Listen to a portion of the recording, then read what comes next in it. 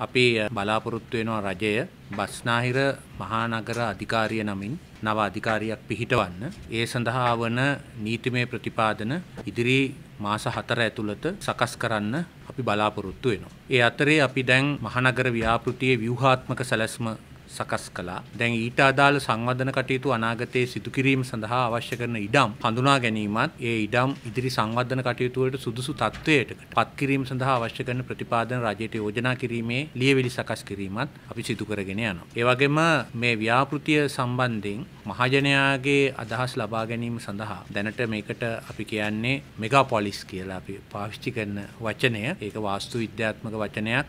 ඉතින් අපි බලාපොරොත්තු වෙනවා මේකට සිංහලෙන් හා දෙමළෙන් නාමයක් අපි ජනතාවගෙන් ඉල්ලා හිටිනවා ඒකට නම් කරන්න කියලා ඒක එක්තරා ආකාරයක තරඟයක්. ඒ වගේම මේකට ලාංඡනයක්. ඒකත් අපි ජනතාවගෙන් ඉල්ලා හිටිනවා මේ ලාංඡනයක් නිර්මාණය කරන්න කියලා. ඒ වගේම නාමය, නිල ලාංඡනය, ඒ වගේම ත්‍රිමාණ ආකෘතිය, ඒ වගේම ආලේඛ චිත්‍රයක් නිර්මාණය කරන්න. නිර්මාණාත්මක සිංහල නාමය හා දෙමළ නාමය සඳහා අපි එකකට රුපියල් ලක්ෂය බැගින් ලබා දෙනවා. නිල ලාංඡනය සඳහා 250000ක් ලබා දෙනවා. ආලේඛ චිත්‍රයේ පරිගණක ආකෘතිය සඳහා අපි රුපියල් ලක්ෂයක් ලබා දෙනවා. ඊට පස්සේ ඒක සුදුසු ද්‍රව්‍ය යොදලා ඒ වියදම් අපි ලබා දෙනවා නිර්මාණ ශිල්පියාට. ත්‍රිමාණ නගර ආකෘතිය සඳහා ඒ නිර්මාණ කරණයට අපි රුපියල් 2 ලක්ෂයක් දෙනවා. හැබැයි ඊට පස්සේ ඒක අදාළ සුදුසු භාණ්ඩ වලින් නිර්මාණය කිරීමට යන වියදම අපි දරනවා කත් එක්ක.